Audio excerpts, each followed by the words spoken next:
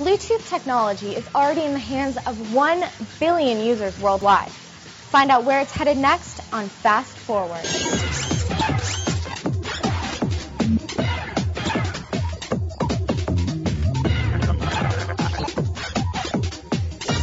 Just recently, Bluetooth announced the creation of a medical device profile, which would expand the use of wireless Bluetooth technology into the healthcare industry. I'm Stephanie Thorpe, and let's fast forward to take a look. The concept would enable health related devices like weight scales and blood pressure monitors to wirelessly transmit the user's medical information. Designers predict that this technology could possibly decrease the need for hospital visits as well as help in the early detection of some potential health problems. These benefits could significantly cut a patient's medical costs.